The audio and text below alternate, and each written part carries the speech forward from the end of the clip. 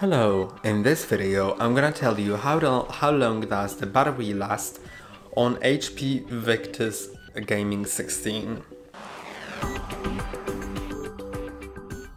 So the battery on this laptop um, lasts quite an impressive time, which is um, about 7 hours. Of course, only if it's new.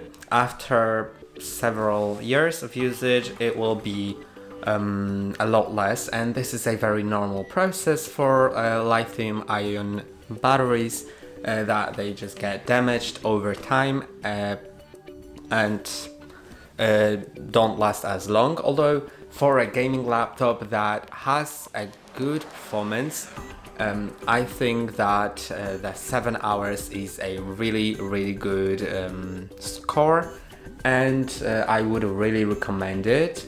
And also, uh, there is the fact that it charges um, up to 50% in uh, like about 30 minutes. So, this is great. The charger that's included with it is very powerful and charges pretty quickly.